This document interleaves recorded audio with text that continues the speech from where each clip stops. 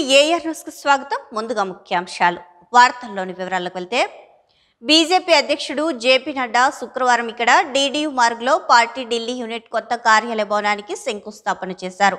భవనానికి శంకుస్థాపన చేయడానికి ముందు Nadda organisation general secretary BL Santosh మరియు ఢిల్లీ బీజేపీ అధ్యక్షుడు వీరేంద్ర సచ్దేవ్తో సహా పార్టీ నాయకులు భూమి పూజ కార్యక్రమాన్ని నిర్వహించారు.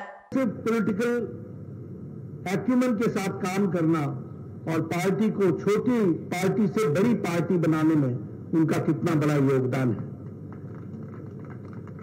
हम याद करते हैं अरुण जेटली जी को, जिनके पास हम हमेशा परामर्श के लिए जाया करते थे। हम याद करते हैं सुषमा जी को, जो हर पल हम लोगों के साथ हुआ करती थी। और साहब सिंह वर्मा जी ने तो हम लोगों के साथ कंधे से कंधा मिला करके इस लड़ाई को लड़ा है, उनको भी हम याद करते हैं। ऐसे ऐतिहासिक दिन में मैं कुछ बातें भी आपसे ज़रूर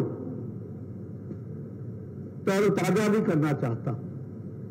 ये अजमेरी गेट से शुरू हुई यात्रा, पंडित पंत मार्ग से होती हुई दीनदयाल उपाध्याय मार्ग तक की यात्रा, ऐसे ही नहीं हुई है।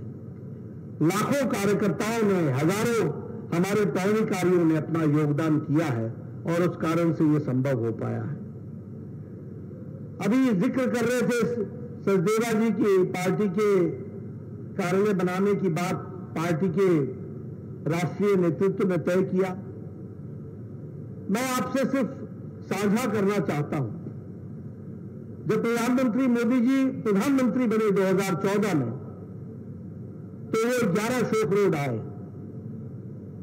और उन्होंने ग्यारह शोक रोड में चर्चा करते हुए कहा कि क्या हम इन्हीं सरकारी भवनों में ही अपना कार्यालय चलाएँगे? भारतीय जनता पार्टी का कोई अपना कार्यालय बनेगा? और उस समय राष्ट्रीय अध्यक्ष अमित शाह जी होते थे।